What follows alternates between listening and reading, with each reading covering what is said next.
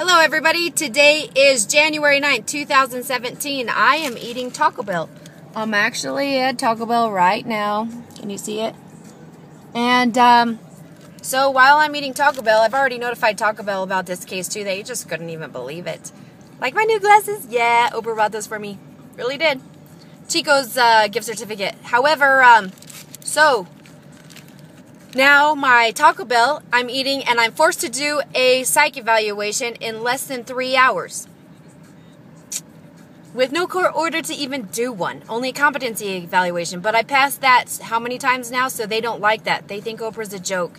So, anyways, right before my evaluation, I am eating Taco Bell, which CMHIP and Judge Deborah Eiler think is actually a delusion and it's abuse to your system. Yeah, real court case 13MH 318. 13MH252. All because of this. It's not a joke. Look it up.